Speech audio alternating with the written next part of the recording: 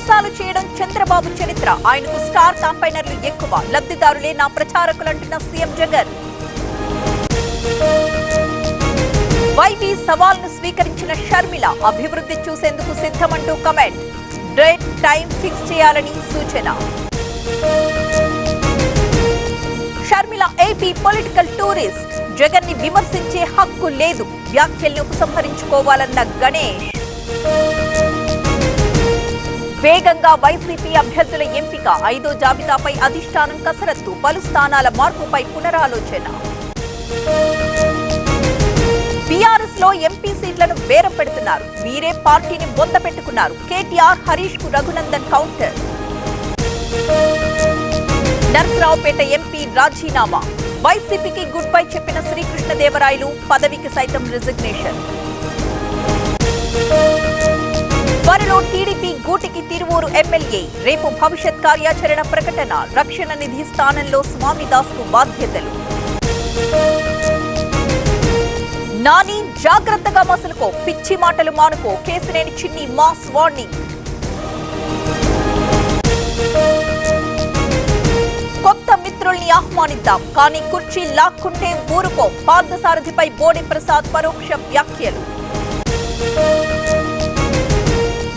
జగ్గంపేటలో మారిన political scene. టీడీపీలోకి YCP మండల నేతలు ఒక్క ఛాన్స్ అంటూ జ్యోతుల నెహ్రూ రిక్వెస్ట్. రాళ్ళగడ్డలో ఆధార్ కార్డులు నిర్లక్ష్యంగా పారబోతా సీరియస్ అయిన అల్లూరి కలెక్టర్. నకిలీ పత్రాలతో పాస్పోర్ట్ల జారీ. దర్యాప్తు ముమ్మరం చేసిన సిఐడి. ఇప్పటి వరకు పన్నెండు మంది అరెస్ట్. వరంగల్లో షాపింగ్ మాల్స్ పై కొరడా పార్కింగ్ ప్లేస్ ఆక్రమణల తొలగింపు. జేసీబీతో కూల్ చేస్తున్న అధికారులు.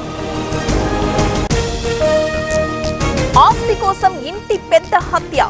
ఏడాదిన్నర తరువాత వెలుగులోకి మెదక్ జిల్లా అనంతసాగర్లో దారుణం.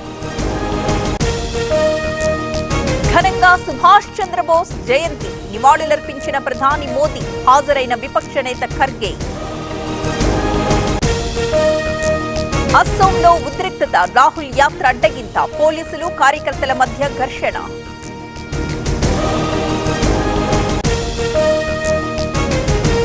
పోటెత్తిన అయోధ్య భారీగా తరలివస్తున్న భక్తజనం కిటకిటలాడుతున్న ఆలయ పరిసరాలు.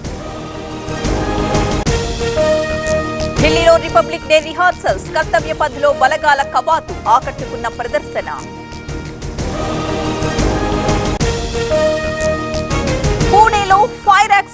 గోడౌన్లో గోడౌన్లో చెలరేగిన మంటలు. ప్రమాదంలో ఇద్దరు మృతి.